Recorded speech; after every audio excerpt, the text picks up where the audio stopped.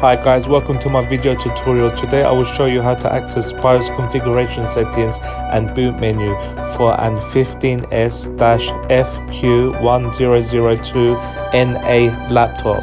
First and foremost, power on the laptop and keep tapping the F10 key. Yes guys, the F10 key as shown here. As you can see, you are now into BIOS configuration settings. So this is the key guys.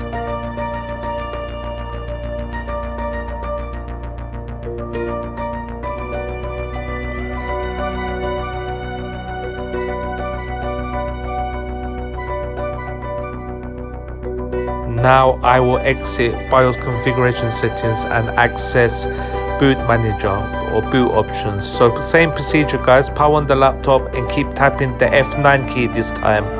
Yes guys, the F9 key as shown here. So once you keep tapping it, the screen will pop up. As you can see, it says boot manager